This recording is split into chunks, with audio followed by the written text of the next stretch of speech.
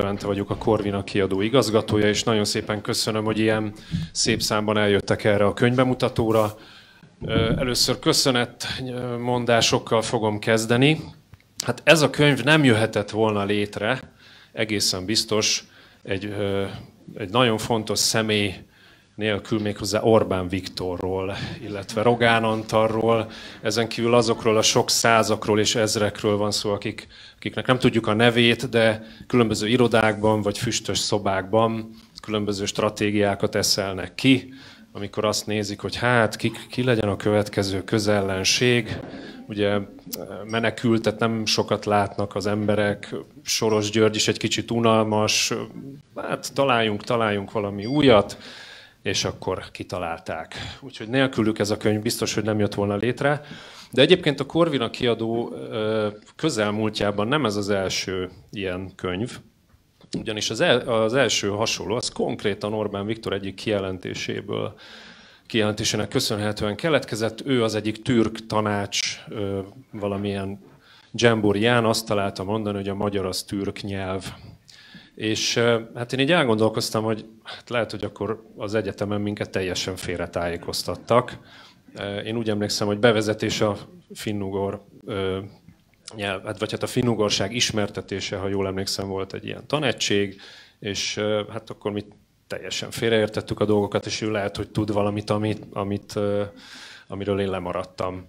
De arra gondoltunk, hogy a kiadó akkori igazgatójával, Kunos Lászlóval leültünk beszélgetni, és akkor mondtam neki, hogy ne a Facebookon dühöngünk, hanem csináljunk valamit. És azt találtam ki, hogy írassunk egy nyelvésszel egy rövid, közérthető kis könyvecskét, amiben vala elmagyarázza, hogy milyen nyelv a magyar. És hát nem jött ki meglepetés a végére, mert az jött ki, hogy a finnugor, vagyis hát az uráli nyelvcsaládhoz tartozik a magyar nyelv, ahogy ezt már elég régóta tanítják. Egyrészt megnyugodtunk, másrészt pedig hát ugye az volt a nagy kérdés, amikor elkezdtünk gondolkozni, hogy ki fogja megírni ezt, ezt a könyvet, és hát mondtuk, hogy hát Nádasdi Ádám, hát ő biztos nem fog ráérni ilyenek, ilyen hülyeségekre.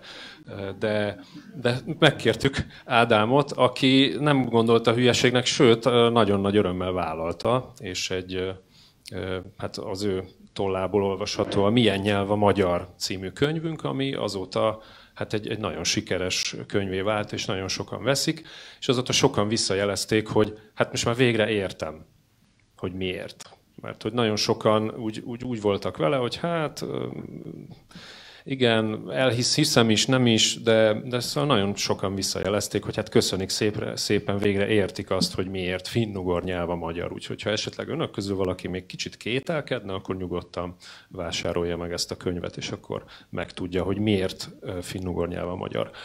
A másik könyv az nem Orbán Viktornak köszönhető, hanem inkább talán Takaró Mihálynak, illetve azoknak, akik a Nemzeti Alaptanterv módosítását összeállították. Ez volt a nem kötelező című antológiánk, amelyben a, az Nemzeti Alaptanterből kihajított, én úgy hívtam, hogy kimaradók, illetve azok a kortárs szerzők, akik hát so, egyszerűen soha nem szerepelnek kortárs szerzők a Nemzeti Alaptantervekben, ez szerintem egy elég nagy tévedés, úgyhogy összeállítottam egy szöveggyűjteményt, amit hogyha mellé teszünk a hivatalos szöveggyűjteményeknek, középiskolai szöveggyűjteményeknek, akkor szerintem remekül kiegészítik egymást.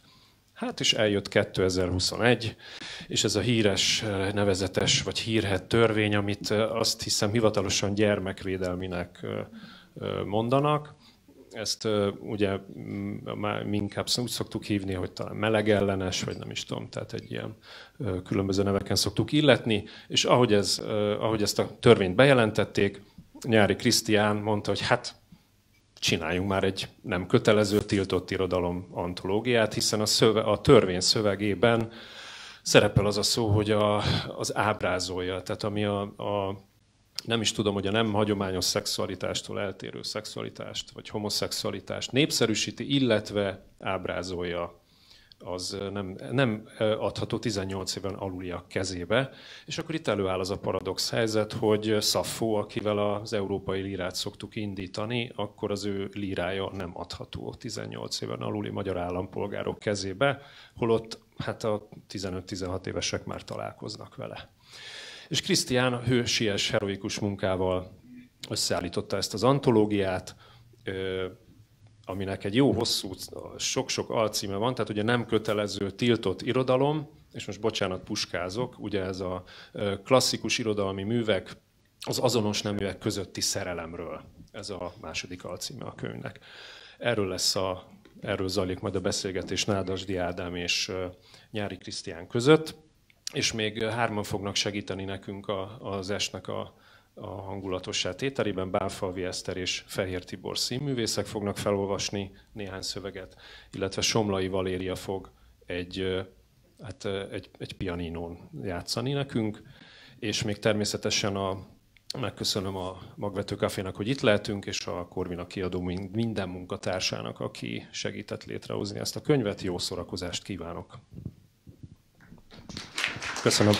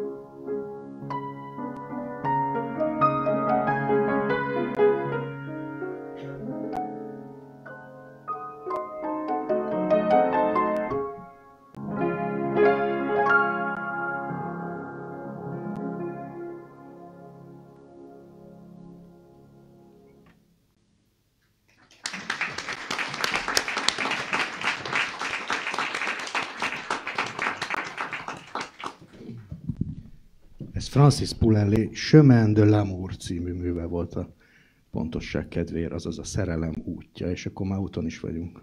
Hiszen a szerelemről lesz szó egész este. Elnézést kérek, be vagyok rekedve, de majd igyekszem keveset beszélni. Az igazgató úr az imént azt mondta, és ez igaz persze, hogy a könyv létrejöttét holmi napi politikai, efemer, pillanatnyi helyzet indokolta. De azért, ugye, Krisztián, ez a könyv, ez az, ami. Ez akkor is érdekes. És akkor is érdekes volna, ha nem az volna uralmon, aki uralmon van, ha nem ilyen törvényeket hoznának. Jól látom, hogy ez azért, azért mondom, mert királyi igazgató úr mondta, hogy egy másik könyv is megjelent, ami kifejezetten egy ellendarabja a, a, kötelező tantárgyaknak, tananyagnak. Ez azonban nem olyan. Nem, de természetesen a, a, azt kellene tagadni, hogy az aktualitását, hogy miért döntöttük, hogy most megjelenjen, az ez adta, de egyébként ö, nekem hát egy 6-7 évvel ezelőtt Cezelendre javasolta, hogy milyen jó lenne egy ilyen típusú antológia, vagy, vagy irodalom történet, ami az irodalom, magyar irodalomnak erre a, a, a, a vetületére gondol, vagy ezt, ezt mutatja be. Én akkor azt gondoltam, hogy hát egyszer majd. És Mivel indokolta Cejzel doktor ennek a szükségességét?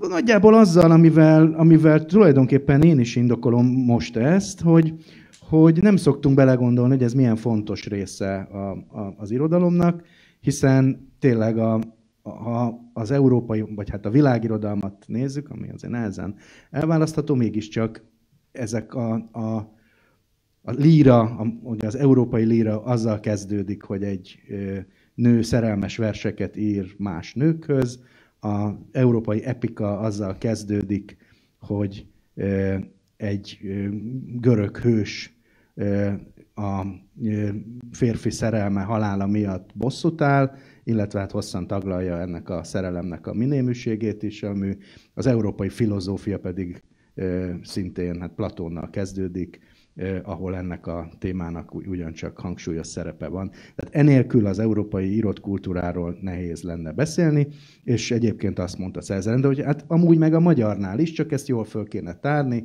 milyen érdekes ez. Én akkor azt gondoltam, hogy én különböző témákról írok, különböző vetületeit mutatom be mondjuk magyar írók és költők életének, olykor a szerelmen keresztül, olykor máshogy, és hogy számomra inkább az a fontos, hogy egy-egy témáról beszéljek, és persze megmutatom azt a részét is, amikor azonos neműek közötti szerelemről van szó, meg azt is, ami nem. Tehát én magam nem gondoltam, hogy, hogy hogy azt valamilyen irodalom történeti vonatkozásba külön ki kéne emelni, ám de az, hogy egy szöveggyűjtemény szülessen, azon gondolkodtam, de ha nincs ez a törvény, akkor őszinte leszek, nem lett volna benne az első három-négy tervemben, hanem ez így, ahogy szokott lenni, tolódott volna, és aztán e, talán egyszer megszületik, de hát bizonyos értelemben e, köszönhetjük most ennek a történelmi politikai pillanatnak, hogy akkor lehetett rajta gondolkodni. Ki az a Tali Kálmán? Tali? Tali Kálmán Ugye ővele a történészek szoktak inkább találkozni, mint, mint irodalmárok. Ő az, aki a kuruckor költészetét összegyűjtötte a 19. században. Nem a saját költészetét? Olykor ez is. Ugye ő a, a saját hibájából, de a hamisítás jelképeként került be az irodalom történetbe, mert egy komoly tudós volt, rengeteg dolgot valóban feltárt, tehát nagyon-nagyon sok történelmi forrást ő talált meg, nagyon sok kuruckori verset ő talált meg, de nem találta őket elég jónak és elég soknak, úgyhogy írt is párat, és hát a legjobbakat ő írta. Nagyon tehetséges költő volt. Most ő azon a, azért került be ebbe a szöveggyűjteménybe, mert ugye erről híresült el, de emellett egyébként ő nagyon szép, éterjen szép szerelmes verseket írt férfihoz. És nagyon csinos volt a Tali Kálmán. Hát ezt nem tudom, mert olyan 19. századi szakállas ö, ember, de a, egyébként igen, ö, nagyon, ha valakire hasonlít, akkor az Andrási Gyula, aki korának a, a valóban a férfi ideája volt, tehát mondhatjuk, hogy egy csinos ember volt. Meglepő nyíltsággal, tehát ezeket a verseket nem lehet nem szerelmes verseknek tekinteni, és ezek megjelentek, nyilvánvalóan volt közönsége, és őt, őt egy nagyon komoly embernek tartották életében. Azt hiszem, hogy az élete legutolsó éveiben merült fel vele kapcsolatban ez a probléma, hogy hát bizonyos dolgokat ő írt, de egyébként egy, egy megbecsült szereplője volt a 19. század irodalmi meg közéletének, és csak a halála után hát derült ki, hogy egy ilyen kompilátor is. És, de, de ez a verses kötete, amit, amit itt bekerült, az, az nem ilyen, azok az eredeti versei, arra rá van írva, hogy Tali Kálmán, ifjúkori szerelmes versek, szerintem nagyon Köszönjük szív. neked, mert nem tudtuk. Na most az ilyenfajta kötetek túl az irodalmi érdemükön, hát sokszor arra szolgálnak, hogy az ember lapozgatja, és azt mondja, jé, hát ez is buzi volt. Igen, és egyébként az az érdekes, hogy, hogy amikor elkezdtem összegyűjteni ezeket a, a műveket, akkor megrendeltem mindenféle külföldi antológiákat, mert ez az elmúlt tíz évben megjelent. Két évvel ezelőtt egy ilyen vastag amerikai egyetemi kiadvány, LGBTQ, Poesy and Literature, és azt tűnt fel, hogy a szerzők nemi orientációja alapján csoportosítanak, nem a művek tartalma. És ez nekem nagyon furcsa volt, és őszintén szóval nem is nagyon tetszett, mert nagyon sok olyan irodalmi mű van azonos neműek közötti szerelemről, amelynek a szerzőjéről vagy nem ismerjük a nemi orientációját, vagy azt tudjuk, hogy boldog vagy boldogtalan heteroszexuális kapcsolatban él. Csak érdekelte a téma, vagy kifejezőnek tartotta, vagy, vagy egyáltalán ezen keresztül akart valamit elmondani, és ezek, ezekből az amerikai antológiákból furcsa módon hiányoztak. Itt és nagyon arra törekedtem ebben a, ebben a válogatásban, hogy a művek számítsanak, és ne a szerzők. Ezért van olyan valószínűleg a saját neméhez vonzódó szerzőknek nem került be műve, mert nem írt ilyet, vagy nem ismerünk ilyen, ilyen művét. Tehát nem igaz az, hogy ez a meleg szerzők antológiája. Nem, bár nyilvánvalóan, mint minden témában, a, a, a aki érintett, az valószínűleg sokkal inkább feldolgozza ezt a témát, tehát a, ebben a kötetben szereplő szerzőknek szerintem legalább kétharmada tudottan a saját neméhez vonzódott, és ezekben a kis ismertető szövegekben, amiket írtam, ha ez fontos, akkor kitérek rá, de vannak sokan, sokan akik nem, és hát sokféle szempontból lehetett volna csoportosítani, én azt választottam, hogy induljunk el az ókortól, és jussunk el a, azért a közelmúltig, mert klasszikus szerzők vannak benne, klasszikuson azt értem, hogy már nem kortársunk, tehát nem él a szerző. Ennek két oka van. Egyrészt ugye nagyon sok kortárs irodalmi mű taglalja ezt a témát, szerencsére, de fejnehéz lett volna tőle egy ilyen antológia. Másrészt pedig kell szerintem, vagy én szeretem, hogyha van egy rálátás egy irodalmi életműre. Tehát eltelik bizonyos idő, hogy megmérjük, hogy az mennyire fontos. Ez eszembe jutott egyébként, amikor Király Levente beszélt a kötelező vagy iskolai tananyagról, hogy nincsenek élő szerzők. Persze valamilyen értelemben lehet, hogy az iskola azt mondja, hogy hát azért várjuk meg, amíg hát kiderül, hogy a, az idő próbáját kiállta, vagy nem. Krisztián, halljunk esetleg valamit. Igen, szerintem menjünk így az időben, tehát kezdjük el, és kezdjük a kezdetekkel, Szaffóval, és akkor arra kérném Bánfalvi Esztert, hogy két rövid Szaffó verset olvasson fel nekünk, az egyiket mindenki ismeri, a másikat kevesebben. Édesanyám nem perdül a rokka. Édesanyám, nem perdül a rokka, olyan szakadós ma a szál. Vágy nehezül rám, mert a sudár szép Afrodité letepert. Szerető, szerető kell ma nekem már. Egy lányhoz. Andromédám lenne a fekete földben, elfelednéd azt, ami boldogított. Szafó, szeretlek, csicseregve hallom, s ellep a rőt pír. Küprosz istennője, a nagy királynő sejti, mit érzek, s a hatalma kínoz. Terhet ezernyit rak azonnal én rám, és kacarászik. Mint a napfényben, ha a szikla fürdik, hírneven fénylik, beragyog dicsőség, Akeron partjára a fényem átsüt, s benne te izzasz.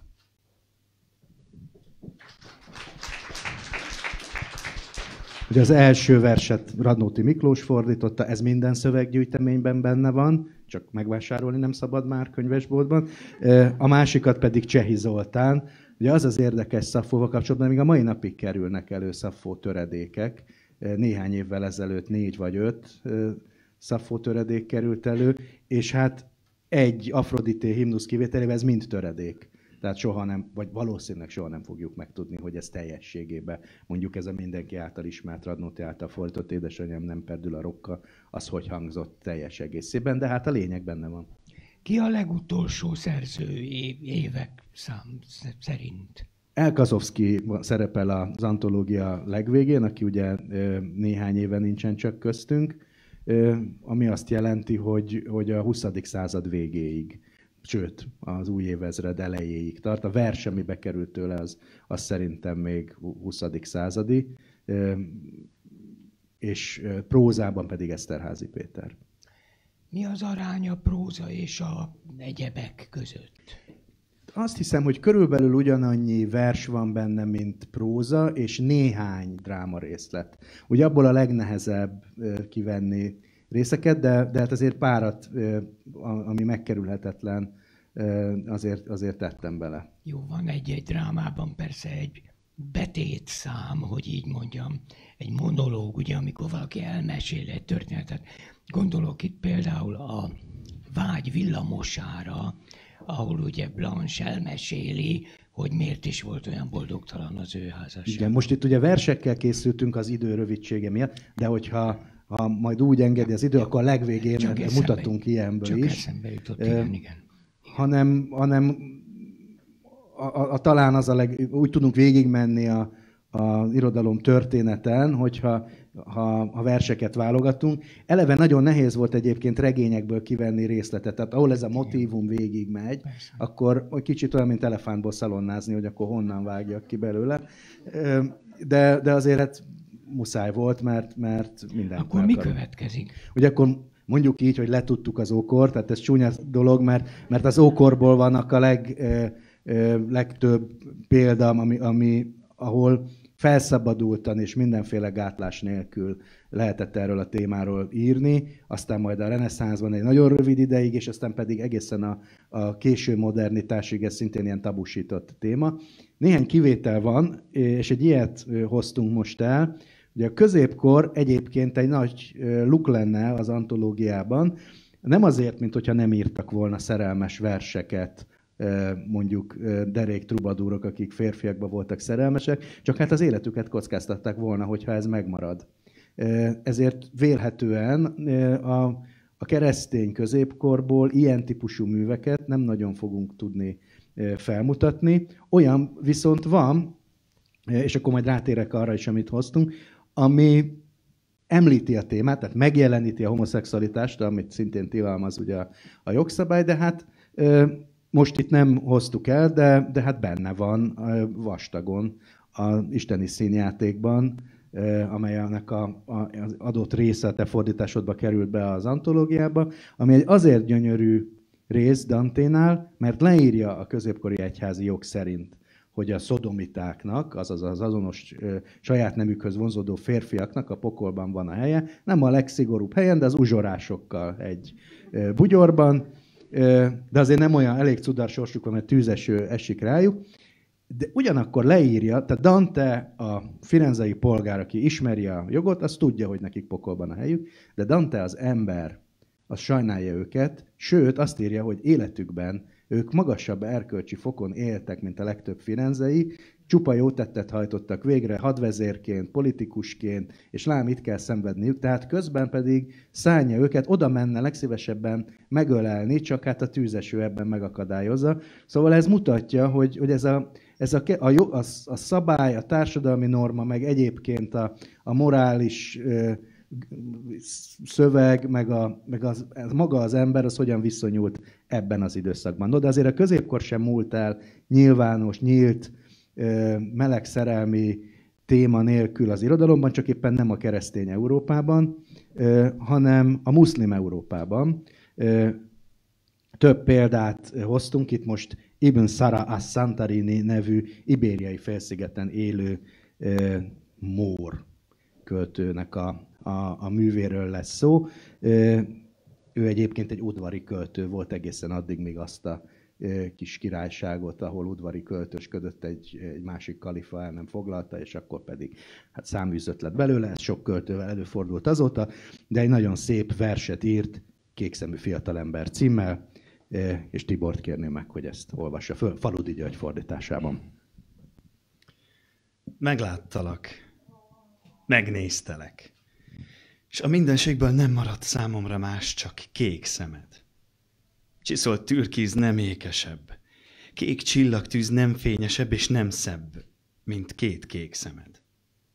Ha vad tavaszi ég remek fáim fölött, azt suttogom, nincs kékebb ég, mint kék szemed. Ha a tengerhez érkezem, boldogan tárom szét kezem, mert mélyebb nála kék szemed. Mikor hazafelé megyek, lámpásnak gyúl ki, és vezet a vaksötétben kék szemed. Álmatlan, hosszú éjek mélyén, fekhelyen felett lebeg mindig két kék szemed. Balsors mar, házam szétesett, de mit bánom a végzetet, amíg velem van kék szemed? És hogy szeretem az életet, mióta semmim sem maradt, csak kék szemed, csak kék szemed.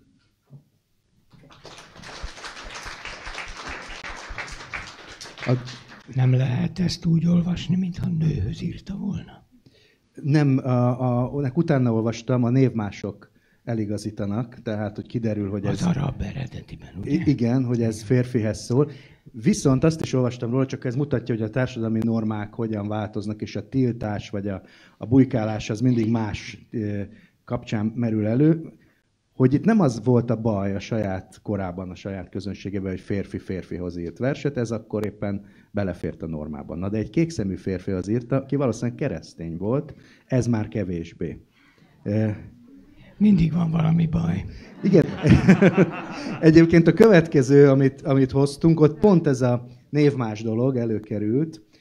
Ugye Michelangelo-nak a szonettjeiről van szó, amelyekkel pedig az történt, hogy Hát a, a, a reneszánsz idején, amikor ezeket a verseket írta, akkor nem, hasonlóan az ókorhoz nem volt probléma, hogy férfi az írt szerelmes verseket, ugye Tommaso de Cavalieri volt a, a, az a fiatal ember, akihez írta a szonettjei többségét, és ott is a névmás igazít el minket, hogy ezt férfi írja férfihoz. Aztán 50-60 évvel Michelangelo halála után egyszerűen átírták a névmásokat, hogy ezek női, nőhöz szóló versek legyenek, és aztán sokkal később, a 19. század végén jöttek rá, hogy itt egy ilyen turpisság történt, és hát azóta az eredeti formájában olvassuk ezeket a, a verseket. Meg is hallgathatjuk, ugye? Ezt is Tibor fogja felolvasni, hiszen ez is egy férfi vers. 14. szonetta címe. És Rónai György fordította. Tudom, tudod, hogy tudom, Uram, hogy tudod. Mi gyönyör nekem hozzád közelednem. S tudod, hogy tudom, hogy tudod. A lelkem a régi. Tőlem hát ne vonakodj. Ha a remény, mit jóságod adott, s a nagy kívánkozás se csal szívemben, kettőnk között a fal dőljön le menten, mert duplán fájnak a titkolt bajok. Hogy benned, Uram, csak azt szeretem, mint te magadban. Ne is haragudj, ha szellem szellemért gyúl szerelmi lángra. Szép arcodon mi oly kedves nekem, emberi ész fölfogni úgy se tudja. Meg kell előbb halnia, hogy belássa. Ezt ráadásul át se tudták rendesen írni, mert Senior Mie volt benne, szóval nem tudom, mit csinál. Hogyan rekkentették el, ezt nem tudom. Csak úgy mellőzték, igen, igen. Én olasz szakot végeztem, de ezt nem olvastuk. Nem volt tananyag. Szerintem ez, a, ez nekem a kedvencem a, a Michelangelo szonettek között. Ez egy annyira megemelt szerelmi vers, hogy egészen filozófiai mélységei vannak, és ugyanebből a korból hoztunk még egyet, majd majdnem ugyanebből a korból, de hát mindenképpen a reneszánszból, csak a, a, a kicsit máshonnan, a Shakespeare szonetteket is ugye tanuljuk a középiskolában, most majd bezárt ajtónál, vagy nem tudom, hogyan kell ezekről beszélni. De egyszer beszélgettünk mi Shakespeare-ről, hogy ugye nem nagyon tudjuk, hogy ő akkor pontosan kihez írta, vannak mindenféle tudományos felosztások, hogy a szonett fennmaradt 182 szonetből 10 biztosan nőhöz szól, 27 biztosan férfihoz, a többiről meg nem tudni, hogy kihez szól. Jó, Krisztián, a Shakespeare-nek egy szavát nem szabad elhinni. Drámaíró volt, hát érted, hát az volt, az volt a mestersége, hogy másoknak a hangját, lelkét írja meg. Ez, amit hallottunk, ez egy szerelmes vers. A Shakespeare szonettek között egyetlen egy sincs, ami igazán szerelmes vers volna. Na, hallgassuk meg, és aztán beszéljünk róla, hogy ez vajon az-e. Ezt Eszter fogja felolvasni a 20. szonet János Házi György fordításában. Természettől lánynak lettél te mása, aki szerelmem úrnője vagy. Szíved lágy nő szív, ám ravaszkodásra nem hajlik, mint sok csalfa női agy. Szemed ragyog, de nem oly hamisan, s megaranyozza, amire tekint. Férfi szín, ám minden szín benne van, a férfit és nőt elbűvöli mind. Nőnek formált előbb természetasszony, de megtetszettél, s forró szerelemben megtoldott, hogy kettőnket elszakasszon valamivel, mi eltilt tőled engem. De ha a nők maguknak követelnek, legyen övék a ké, s enyém szerelmed.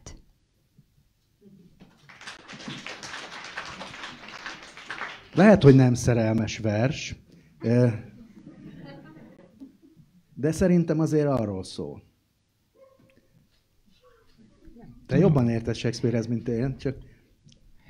Jobban is értek Shakespearehez, meleg is vagyok, és mégis valahogy nem tudom, szóval nekem ezek kimunkáltak, hidegek, igen? játékosak, igen, igen. Olyan, mint amikor egy mesterember készít ilyen, ilyen egyensúlyozó szobrot, tudod, amit egy helyen megpöccintesz, és akkor nagyon finoman ki van az egész egyensúlyozva. Engem hidegen hagynak. Tényleg? Igen, nagyon érdekesek. Ne felejtsd el, hogy a fordítások, még ez is talán, pláne a Szabó Lőrinc, nagyon megtolják az egészet a szerelem felé.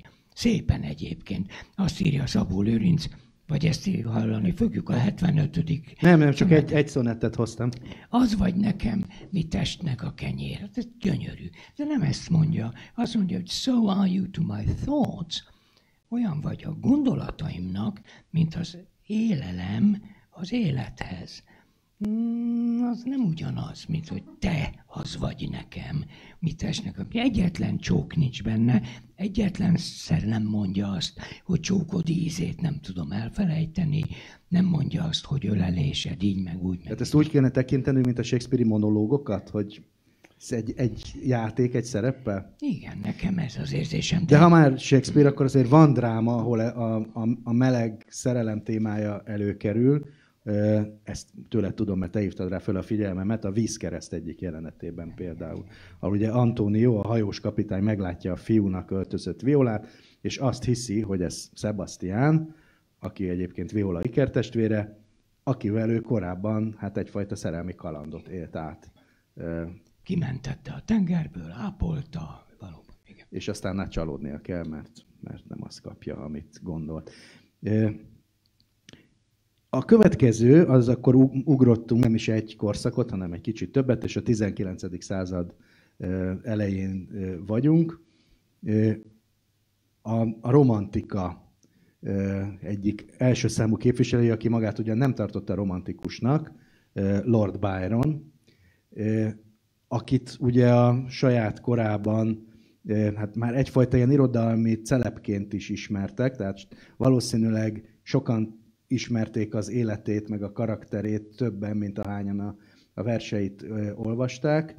Bizonyos értelemben ő az első ilyen költő szupersztár, akiből aztán talán sok lett a 19. században, és azt is számon tartották. Ráadásul nem csak költő volt, hanem, hanem egy gazdag arisztokrata világfi, aki utazgatott. Számon tartották, hogy akkor milyen hölgytől, milyen titkos gyereke lehet, és hasonló.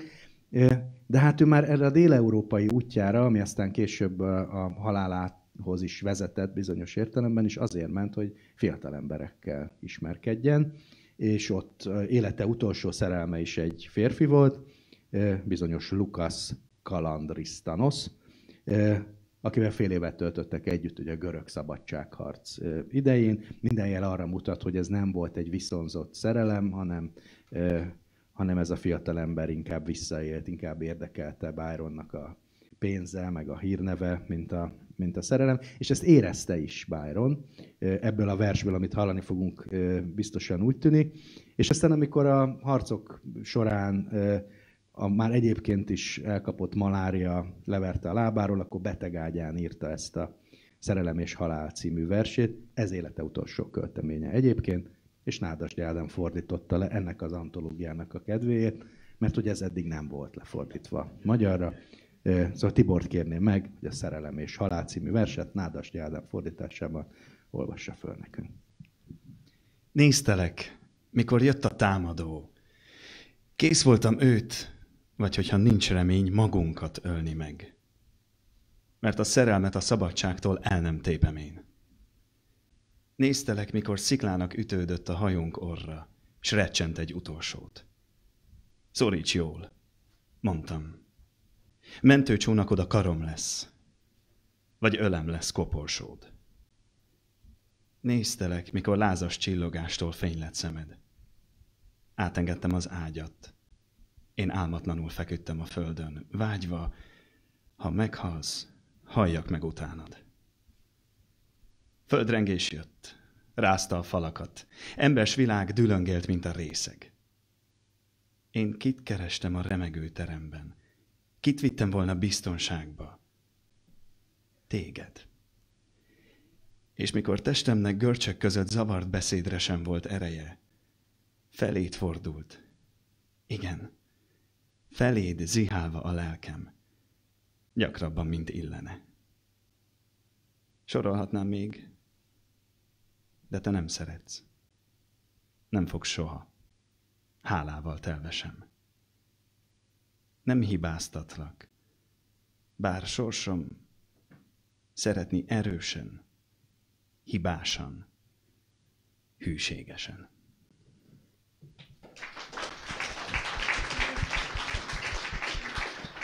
Szóval a reménytelen szerelmes vers és szerelmes vers, ezt is. Nagyon is, igen.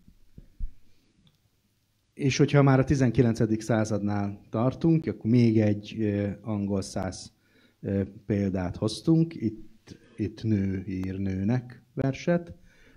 Emily Dickinsonról van szó. Ez is egy olyan vers, amit a, a, az antológia kedvéért fordítottak le.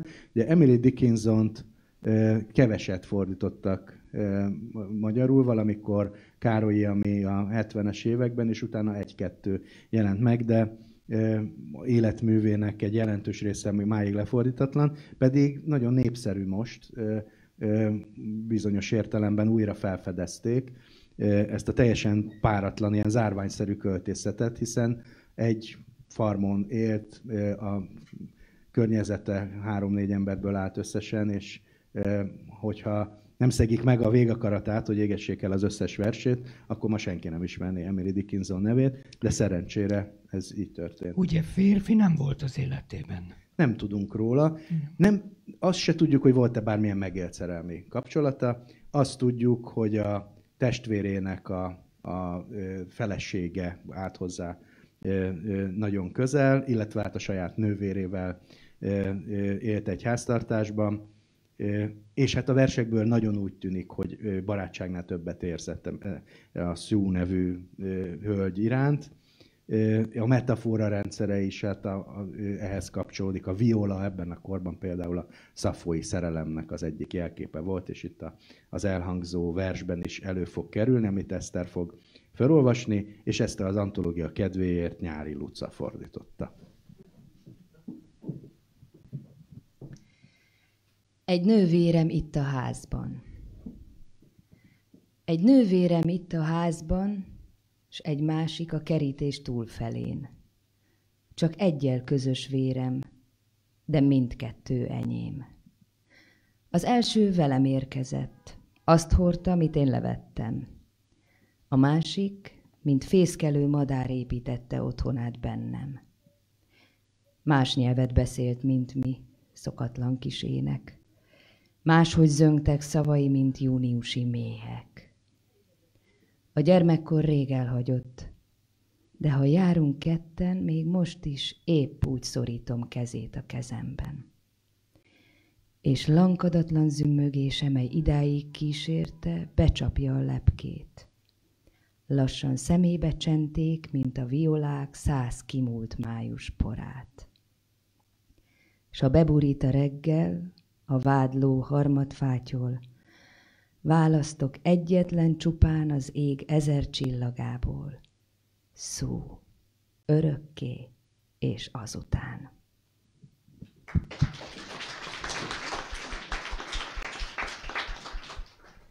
És akkor megyünk, robogunk tovább a 19. században. Vagy Mi az robogjunk? aránya magyar és nem magyarok? Sű, Levente, tudod? Hát szerintem Kevesebb a magyar, azért, mert, mert a tizen... Ókoriak Ókori magyarok bizonyára írtak verseket, csak ezeket eltitkolják előnünk még. Ö, azt hiszem, hogy a 20. században már nagyjából a fele-fele, vagy egy kicsit több a külföldi. Úgyhogy ez inkább egy, egy világirodalmi antológia e, e tekintetben. És akkor francia már régen volt, az megyünk a 19. század vége felé, bár nem olyan nagyon vége, 1867, Paul Verlaine. Ugye ez az első olyan költőszerelem, amit arról szokott a populáris kultúra ismerni, hogy itt két férfi szerelméről volt szó, ugye Arthur Rimbaud és Verlaine szerelmét, azt többen ismerik valószínűleg ma, mint amennyien a verseiket olvassák. Ezért most egy olyan verset hoztam Verlentől, ami nem az ő kapcsolatukról szól, hanem két lánynak a szerelméről. Ez az Intézeti Lányok című vers, Babics Mihály fordításában, és Eszter fogja felolvasni. Intézeti lányok. Ketten alusznak egy szobában. Egyik 15 éves, 16 a másik. A szeptemberest halkan orgonázik. Kék szem és eperajk, és ami tetszik. Illatos ingük földre dobva fekszik, fesztelen kényelem és párna pázsit. Már a kisebbik nyújtózkodva ásít, mellére csókot nyom az öregebbik. Majd térdre hull, majd vad lesz, és bolondos, és szenvedélyes, és a drága dombos árnyba, szőke bozótba merül ajka. A gyermek közben ujján számol éppen, az ígér táncokat számolja rajta, és mosolyog ártatlan szendeségben. Direkt akartam olyat is, amiben azért az erotika is nem, ö, megjelenik, nem csak a, a szerelmi vágyakozás, vagy a csalódás, vagy a szerelmi bánat. A következőben is ö, bőven lesz, és ezzel akkor már átcsúszunk a 20. századba. Ez pedig Kavafisnak a, az egyik verse. Ugye ő azok közé, a szerzők közé tartozik, akikről tudjuk, hogy egyébként férfiakhoz vonzottak. De azért ő vigyázott a magánélete titkaira, tehát nem tudjuk azonosítani pontosan ezeket a férfiakat, de a verseiben azért nagyon megjelenik a szerelemnek minden alapérzése. A szemérem, a vágyakozás, az erotika, a szenvedély. És hát az is nagyon benne van, és szerintem ez az, ami bizonyos korokban nagyon megkülönbözteti a heteroszexuális és a homoszexuális szerelem ábrázolását, ez pedig a rejtőzködés, a kitaszítottságérzés, az elhallgatás, hogy ez milyen hangsúlyosan megjelenik. Tehát a görög antikvitásban egymás mellé teszünk egy szerelmes verset, amit férfi írt férfihoz, vagy amit férfi írt nőhöz, tulajdonképpen ugyanazokat a megoldásokat, ugyanazokat az érzelmeket látjuk. Kicsit ilyen ez a reneszánszban is. Janus Pannoniusnál nem nagyon van különbség a, a két téma között. De amikor ezt a, a, a társadalom ö, ö, ítéletét, vagy akár a, az állam nak a, a megtorló intézkedéseit is számba kell venni, akkor ez megjelenik a szerelmes versekben is, így volt ez Kavafisznál is. Ami most következik, az nem ilyen, az, az leírja két fiatal embernek a, a, a egymásra találását erotikus formában. Vas István fordítása, két fiatal ember, 23-24 évesek, ez a címe. Fél tizenegy óta a kávéházban várta, hogy rögtön belépjen az ajtón. Éjfél múlt. Még mindig várta őt. Fél kettő is elmúlt. A kávéház addigra majdnem egészen üres volt. Gépiesen újságot olvasott, beleunt. Három nyomorult shillingből csak egy maradt. Olyan régóta várt, hogy elköltött kettőt kávéra, konyakra. Cigarettáit mind elszívta már. Kimerítő volt ennyit várni. Mert most, hogy már több órája egyedül volt, kezdték megszállni a tolakodó gondolatok kisiklott életéről. De amint barátja belépett, eltűnt fáradtság, unalom, rossz gondolat. Barátja nem várt hírrel érkezett. Hatvan fontja van. Kártyanyereség. Szép arcuk, csodálatos ifjúságuk, meg az érzékeny szerelem közöttük megújult, élet, erőre kapott a 60 fontos kártyanyereségtől. És érzés, öröm, szépség erősugárban elindultak, nem tisztes otthonukba, hová amúgy sem fogadták be őket, hanem egy meghitt házban, mely eféle züllésre való, rendeltek szobát és drága italokat, és újra ittak. És mire elfogytak az italok, és mire négy óra lett, boldogan átadták magukat a szerelemnek.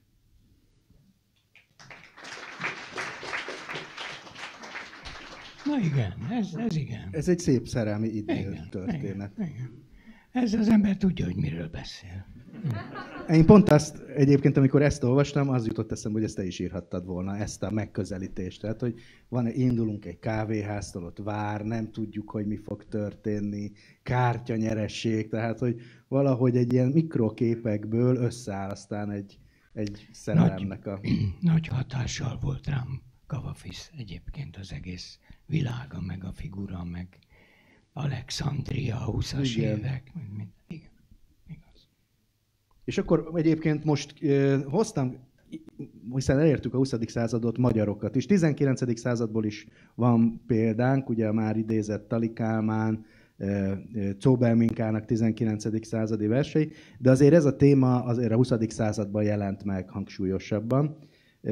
Két olyan példát hoztam, a, mind a kettő nagyjából egyforma egyszerre keletkezett egy 1932-es és egy 35-ös versről van szó, amiket az is összeköt, hogy ezek nincsenek benne az antológiában, csak egy ismertető a szerzőkről, mert nem kaptunk rá engedélyt, de azt gondoltam, hogy érdemes őket megmutatni. Még a tiltott irodalomon belül is tiltott irodalom. Igen. Ugye hát ez hozzátartozik ennek az antológiának a történetéhez, hogy,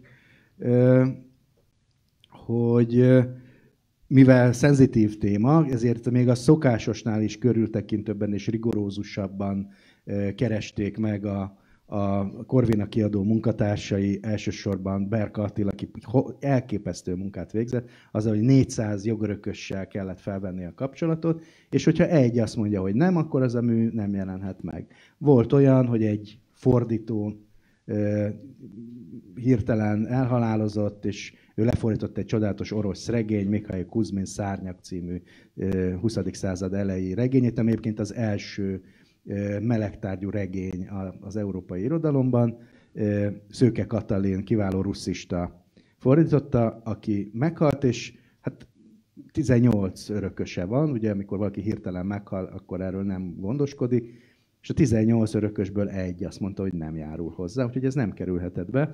Akár csak Berda József versei, pedig hát Berda József nélkül nehéz a magyar irodalomnak ezt a részét végigvenni, anélkül egyébként, hogy tudnánk, hogy ő valójában kibe volt szerelmes, férfiakban, nőkbe, valószínűleg mindenkibe. Egy akkora életszeretet van ezekben a versekben, és a, a testiség, a szerelem, a szexualitás olyan fontos neki, tehát ő tud himnikus verset írni a fiatal lányokhoz, az idős nőkhöz, a vékonyhoz, a vastaghoz és férfiakhoz is ugyanígy. A vers, amit kiválasztottam, az a vers a péklegényekről, 1932, amiről közben utána hallottam egy nagyon kedves történetet, hogy ezt a versét a szocializmus éveiben, mint a proletár költészet példáját, kifüggesztették egy kenyérgyárnak az aulájában. És hát hallgassák meg, nem tudom, hogy ott a pékek ehhez mit szóltak, valószínűleg örültek neki. Egyébként neki fennmaradt hát az erotikusnál több, inkább kicsit pornográf verse, verse is, ezekben is egyforma lelkesedéssel dicséri egyébként az asszonyok és férfiak testi örömeit, és ő tényleg egy olyan költője ennek a nemzedéknek, akikről, akiről már kevesebbet beszélünk, ugye a legrosszabb, legnehezebb sorsa mindig azoknak a, az életműveknek van, amik ilyen, ő például 1966-ban halt meg. Hát már egy, egyáltalán nem kortárs, de még nem klasszikus, korább, saját korában is ilyen kismesternek tartották, és nem lenne jó, ha elfeledkeznénk róla. Egy, egy hallatlanul egyedi, izgalmas költészet. Nem véletlenül, hogy Kosztolányi Dezső olyan nagyra tartotta egyébként Berdát. Neki nagyon jó szeme volt ezekre a finomságokra. És akkor kérem Tibort, hogy a Versa Péklegényekről című 1932-es Berda verset olvassa fel Nehéz neki. így, hogy a szovjet pékség talán ez füngött. Látnád a péklegényeket, mi izmosak ők, s hogy villog mesztelen testük. Ismerik sorsukat, s tudják, kevélyebb, s mezítlenebb szépség az övék, mint magunké. Csupa szikrázás, mely ki és befelé tündököl, mint kedve a robbanó napnak. De te nem tudod, miért olvad össze, mint párzó szerelem, izzadó testük kamas szaga a sülő tészta illatával – melyből kenyér csak azért lesz talán, hogy húsuk friss illatát érezd boldogan, ha ízzel harapod majd a finom ropogó héjat, mely oly fényjel csillog éppen, mint az ő mesztelen combjuk rózsás karcsúsága. Ej, ti legények, ti kemény húsok a pékműhelyekbe. Nem folytok el soha már. Úgy szaporodtok, mint a mindennapi kenyér. Nincs szebb, s méltóbb munkája senkinek. Szőkék és barnák vagytok ti, akár a boldog tészt, amely kezetek meleg tapintásától formává dagad majd. Teherben megszépült fiatalsága tiétek, izmos péklegények. Ha munkátok után fáradt inakkal nyugovóra tértek, álmotokban kenyeret dagasztó angyalok csókolják cserepes szájatokat – s nem látjátok, mesztelen combotok mosolya mi büszkén fénylik, árad, mintha nagy darab bronzok férfias érc csillogása volna a sötét szobában.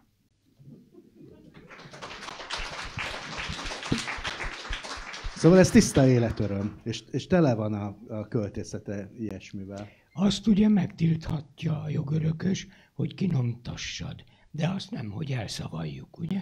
Hát ott is vannak jogai, de az a furcsa, hogy Berda József versei elérhetőek egyébként online, szerencsére ingyen meg lehet nézni a Magyar Elektronikus Könyvtárban, csak nyilvánvalóan egy ilyen eseti megjelenésre is engedélyt kell kérni, és hát itt nem kaptunk. Akár csak Török Szofi esetében, aki ugye Babics Mihály felesége volt, és Babics is szerepel a, az antológiában, prózával is, versel is, meg fordítással is, itt most a feleségének egy versét hoztuk el, levéltöredék barátnőmhöz a, a célja, vagy a célja, a címe.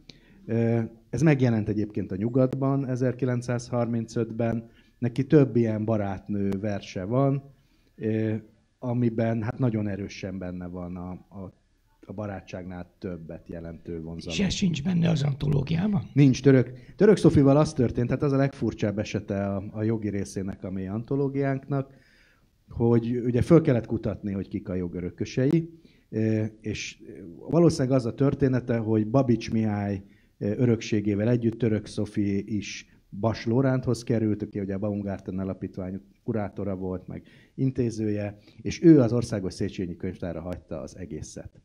Vagy pedig örökös nélkül halt meg, és úgy került oda, ezt nem tudom. Minden esetre az Országos Széchenyi Könyvtár tőlünk tudta meg a nyomozás eredményeként, hogy Török Szofi öröksége ez hozzájuk tartozik. Ezt megköszönték írásban, és amikor kértük, hogy akkor szeretnék ezt a két versét megjelentetni, akkor arra nem adtak engedélyt. De most mi meghallgathatjuk, ez is elérhető egyébként az interneten, levéltöredék barátnőmhöz, és Esztert kérném, hogy olvassa fel. Barátom, legkedvesebben, szeretetemnek szereteted mindig kevés volt. Én pazaroltam, te adakoztál. Mosolyod mindig kevés volt, és kezed melege is kevés volt. Én áradtam, mint vadpatak, hangosan és haszontalan, te mércézett pohárban adakoztat bölcs italodat, okosan beosztva, s kimérve érdem szerint. S ha hálátlan lázadtam, s telhetetlen szomjamban haragos fájdalommal vádoltalak, te józan fölénnyel fékezted oktalan viharzásomat. Elég nem volt elég nekem. A túl sokat akartam, a céltalant, a szomjon túli kortyot s te higgadt felnőtt, türelmesen elnézted, hogy ajándékért gyakran hálátlansága bér. Már nem lázadok, s nem is szégyenkezem.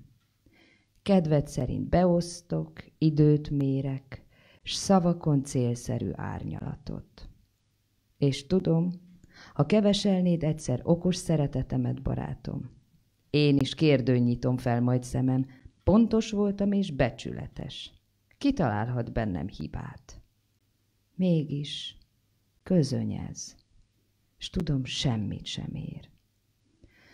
Ó, barátom, szenvedély varázsa helyett érdekel téged ez a szürke ceremónia.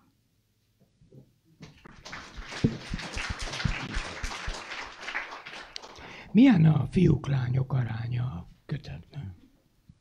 Hát szerintem picivel több a, a, a férfi téma, valószínűleg azért, mert több férfi költő kanonizálódik. Tehát, hogy ö, azt gondolom, hogy a kortársak közül választan kellene válogatni, akkor nem így lenne, akkor fele-fele lenne az arány, hanem egyszerűen, ahogy általában kevesebb női szerzőnk van a 20. század közepétől visszafele, így a, így a téma is, hát hogyha egyáltalán költő vagy író lesz egy férfiból, akkor lesz neki életműve, amit, amit, amit megőrződik, egy nő pedig sokkal könnyebben lemorzsolódik a Ezzel pályáról. persze azt mondod, Krisztián, hogy a férfi szerzők mégiscsak inkább férfiak kapcsolatáról írnak, vagyis hogy azért mégiscsak van önéletrajzi összefüggés. Olykor igen, olykor nem. Tehát Például tudok olyan, bekerült egy novella, Örkény Istvánnak egy, egy nagyon szép novellája két asszonyról, egy szerelmi történet, és ezen keresztül valamit el akart mondani arról, hogy az emberi kapcsolatok fontosabbak, mint, mint bármilyen történelmi igen, kataklizma. Ugye ott egy, egy kivégzett nyilas bűnösnek az édesanyja, és egy meggyilkolt zsidó férfinak a, az özvegye lesznek szerelmesek egymásba a történet végére. Jó, igen, igaz, és Örkény maga egyáltalán nem volt érintve ettől az egész dologtól. Az az érdekes, hogy olyat találtam, amikor férfiak írnak nők közötti szerelemről, fordítottját nem. Tehát olyan, olyan női szerzőt, aki férfi szerelemről írt, olyat nem tudok. De biztos van, csak én nem találtam. Jó, hát azért mondjuk ki őszintén, most csak ketten vagyunk négy szem közt, hogy hetero férfiak szoktak nézni olyan pornót, ahol nők leszbikus hát, ténykedést folytatnak. de arról nem nagyon tudok, hogy heteron nők olyan pornót néznének, ahol meleg férfiak ö, smaciznak egymással.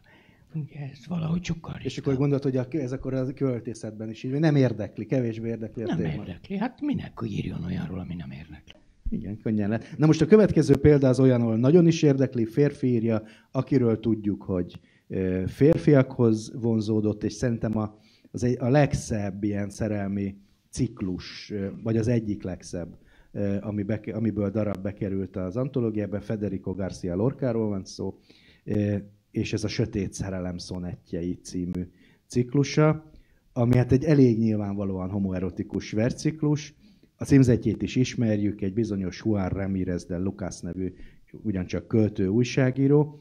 Ezek a versek sokkal később jelenhettek meg, mint hogy keretkeztek, bőven Lorca halála után.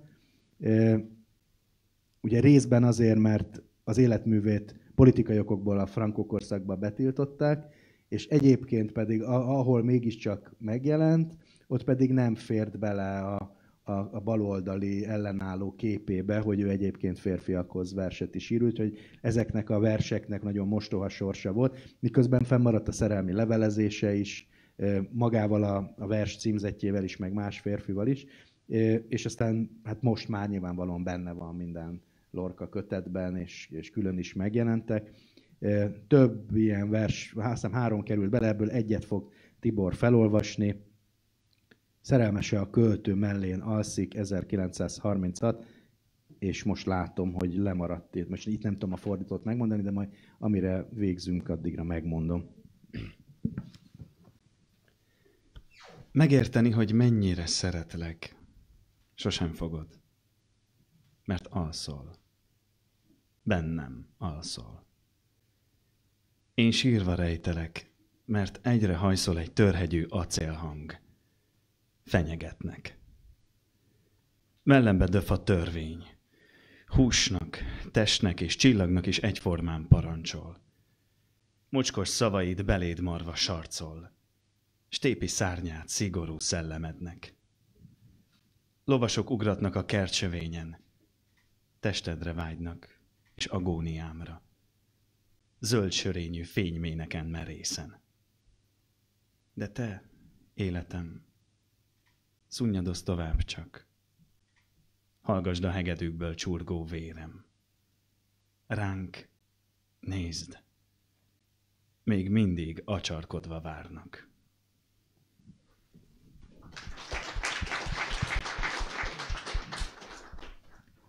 És a végére két, két magyart hoztam, pontosabban két, az egyikük egy magyar nyelven író magyar szerző, tehát klasszikusan magyar szerző, a másikuk pedig egy orosz nyelven író félig magyar szerző. De először nézzük a tisztán magyart.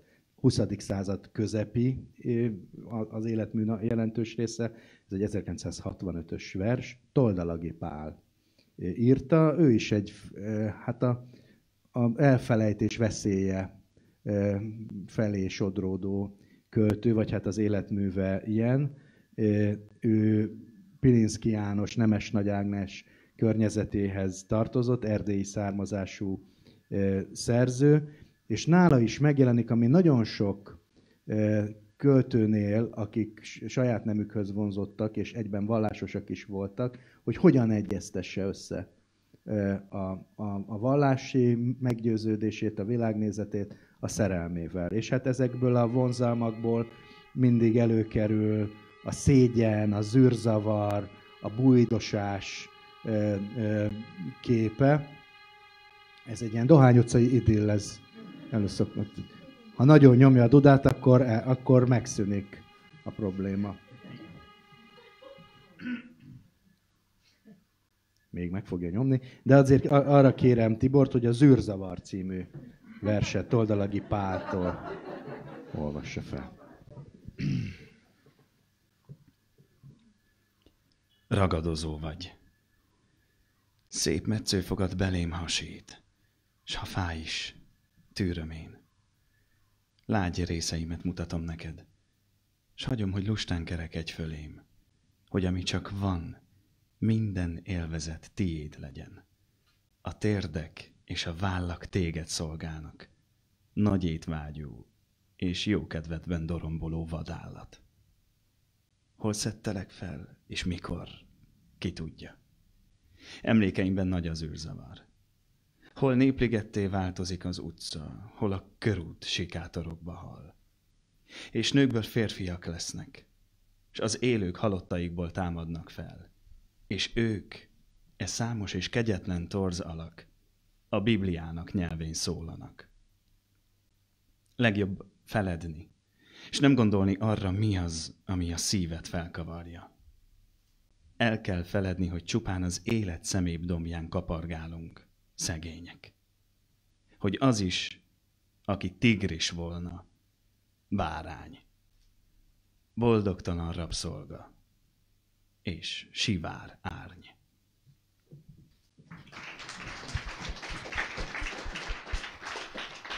Ez volt ugye a toldalagi pár. Igen. És tévedtem az elején, azt mondtam, hogy, hogy az utolsó vers is még 20. századi, de nem. Elkazovszki verséről van szó, szóval 2011-ben keletkezett. Ugye Elkazovszkit, mint képzőművész tartják elsősorban számon. Ő Oroszországban született, édesanyja Magyarországon ment újra a férhez, ő is itt így nőtt fel, festőként vált ismerté, és csak élete végén hát nem derült ki, hanem akkor hozta nyilvánosságra, hogy ő egyébként verseket is ír. Oroszul. Oroszul, az anyanyelvén. Ezt Takács Zsuzsa fordításában fogja majd Eszter felolvasni. Ugye ő, az, ő például, azt hiszem, hogy talán az egyetlen, a, a, nem, kettő ilyen van a kötetben, aki transznemű, ami, hát én értem, ez egy életrajzi adat, de a vers azért ez a sehol nem lét, mindennen túliság kapcsán azért biztos, hogy életrajzi referencia is, ahogy mondani szokás. Tehát Credo 4 című vers Elkazovszkétól. Sem ottani, sem itteni nem vagyok.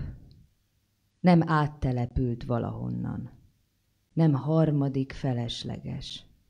Egy csecsemő, pontosabban. Megtettem mindent, hogy világra jöjjek, fokozatosan, szüntelen, természetes módon megszülessek. Ne konkrétumként bánjanak velem, ne a természet rejtelmeként, ne a természet sejtelmeként. Ne mondják rólam, puszta fényjelenség. Hagyják, hogy énem újra szülessék.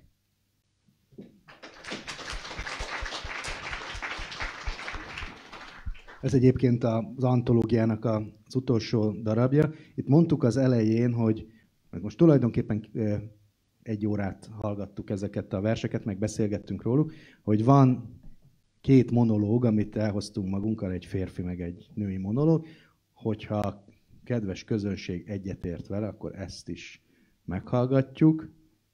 Andrára is nézek, a, a szigorú felettesénemre, hogy van erre időnk. Két, két darabból hoztunk részletet. Az egyik Tennessee Williams a vágyvillamosából Blanche monológia, 1947-ből, a, amiről beszéltünk már. Ezt Eszter fogja felolvasni, a másik pedig a bábok életéből Ingmar Bergmantól, ez pedig Tibor. Szerintem menjünk időrendbe, és akkor Eszter.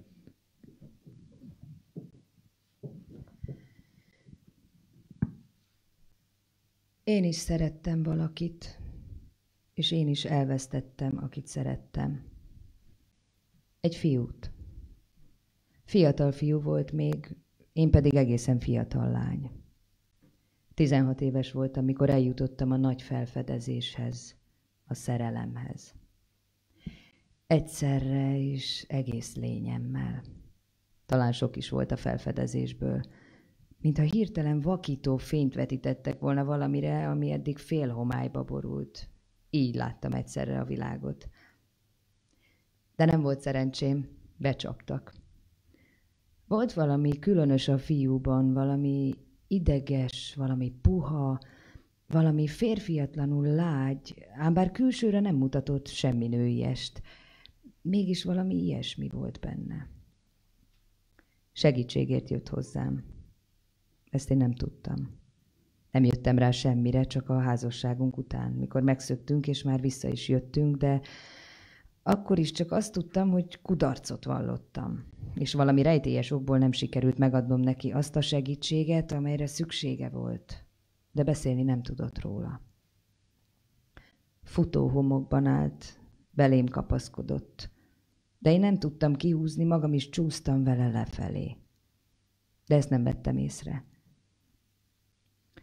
Csak azt tudtam, hogy elviselhetetlenül szeretem, és nem tudok segíteni sem rajta, sem magamon.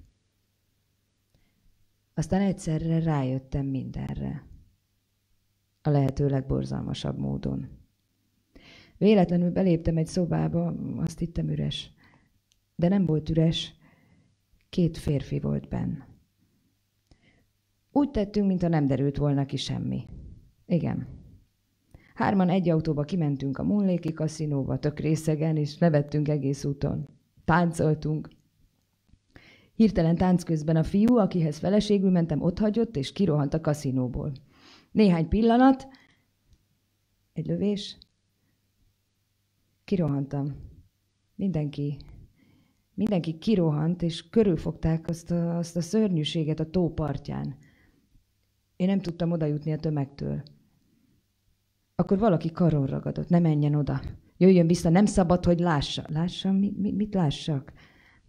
Aztán hangokat hallottam. Ellen, Ellen, a Gray fiú. A szájába dugta a revolvert és elsütötte. Úgy, hogy, hogy a feje hátul teljesen szétment. Azért volt, mert a parketten nem tudtam tűrtőztetni magam.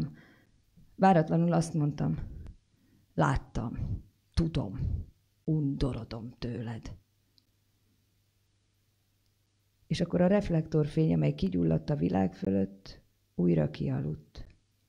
És azóta egy pillanatig sem volt soha világosabb, mint itt. A, a konyha. Ez. Ez a mécs.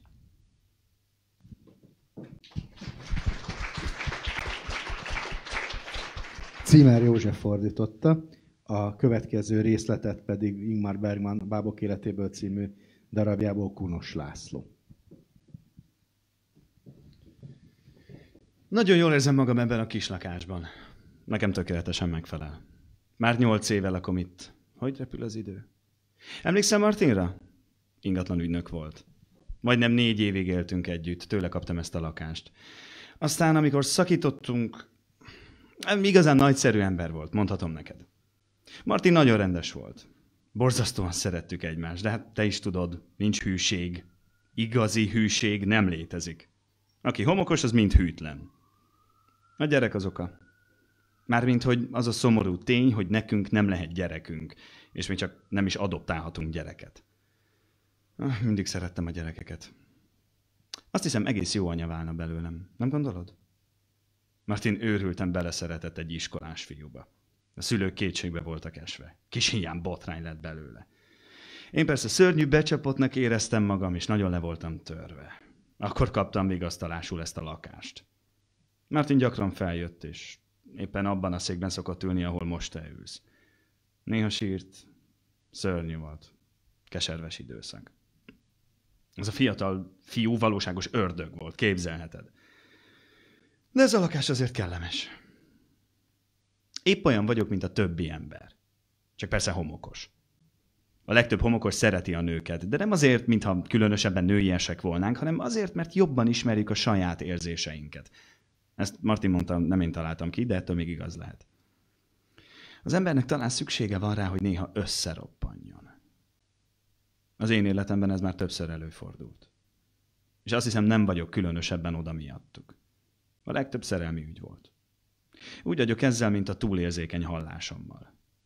Betegesen vágyom a közelségre. És ugyan hol találni közelséget? Én a közelséget szó szerint értem. Mindig ugyanaz a nyomorúság sújtja az embert. Hol a test erőtlen, hol a lélek. És az ember csak vonszolja magát tovább, tovább a remények, ábrándok és megalkuvások kusza szövevényében. Istenem, micsoda elméleteket gyártok. Megöregedett kisgyerek vagyok. Ez a helyzet. Nem, egyébként nem csak ez, van valami más is. Az ember egyszerűen ilyen lesz. Amit a közelségről mondtam, csak álom, mocsok és brutalitás. Néha el kell mennem bizonyos helyekre, érted, mire gondolok. És ott felszedek valakit a legrosszabb fajtából. Ha látnád, nem hinnél a szemednek. Nagy darab, ostoba, durva, mocskos disznók. Életveszélyes vadbarmok. Kéj és őrült gerjedelem. Rémület és lealjasodás. Ez mind együtt és egyszerre. Íme az öreg gyermek szerelmi élete. Nem az a kimondott közelség és gyengétség. Egy szép napon természetesen agyon fognak verni. Ennek is megvan a maga vonzereje. Olyan erők irányítanak, melyeken nem bírok uralkodni. Ennyi az egész. Miféle erők ezek? Nem tudom. Orvosok, szeretők, tabletták, drogok, alkohol, munka. Semmi sem segít. Titokzatos erők. Mi a nevük? Nem tudom. Talán maga az öregedés. A romlás. Nem is tudom. Erők, amelyeknek nem vagyok ura. Az egyik állam a közelségről, a gyengétségről, közösségről, önzetlenségről, mindenről, ami élő. A másik erőszak, mocsok, iszonyat, a halál fenyegetése. Néha azt gondolom, hogy ez a kétféle erő egy és ugyanaz. Nem tudom, honnan is tudnám. Az álmaim talán túlságosan szépek voltak. És büntetésül az élet akkor büntet, amikor a legkevésbé várod. Az orgazmus közben oly mélyen fetrengek a mocsokban, hogy szinte belefulladok.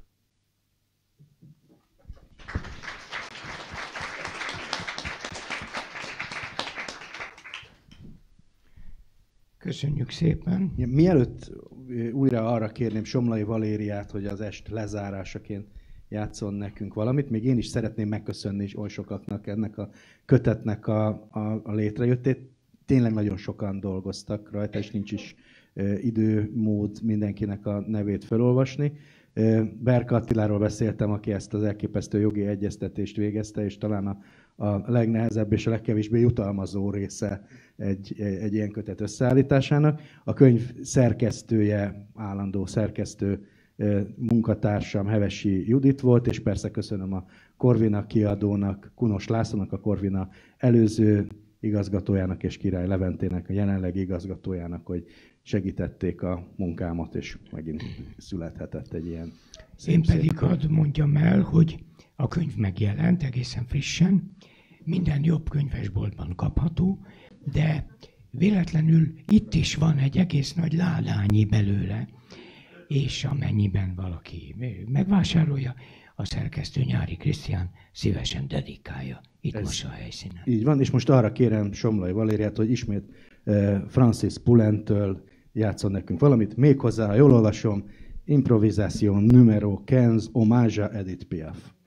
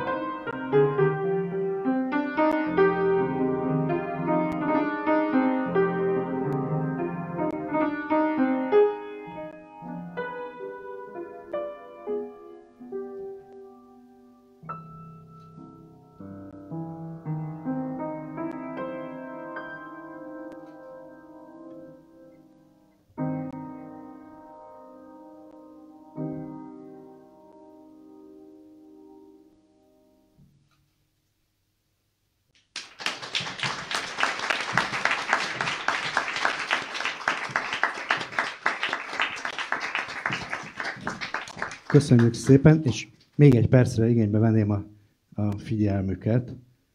Beszélgető társam Nádasdi Ádám holnap ünnepli a születésnapját, és ez alkalomból szeretnénk egy kicsit felköszönteni.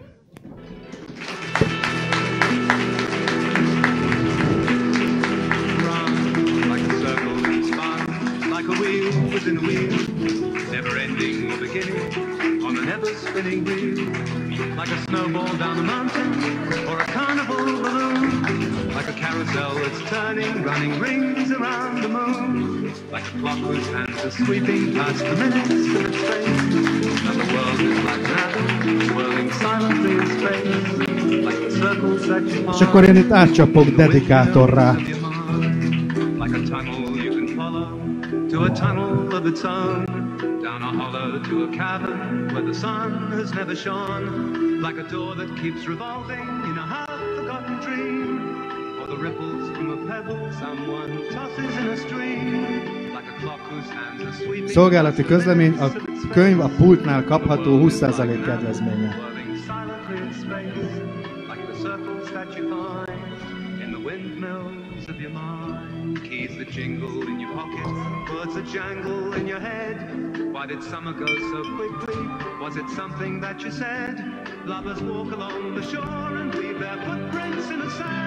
Was the sound of distant drumming just the fingers of your hand? Pictures hanging in a hallway and the fragment of a song. Half remembered names and faces, but to whom do they belong? When you knew that it was over, you were suddenly aware that the autumn leaves were turning to the color of her hair. A circle in a spiral, a wheel within a wheel, never ending or beginning on an ever spinning wheel. As the images unwind.